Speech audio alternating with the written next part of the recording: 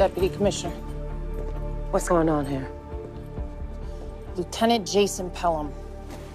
Won't be needing this anymore, so we thought you should have it. And if you're taking his, you should take mine too, because I can't work here with a clear conscience, knowing that this is how a hero and part of my family is treated. Kidd. You can have mine too. And mine.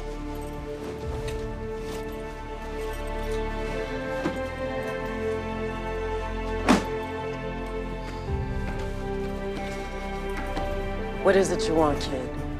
Five minutes of your time.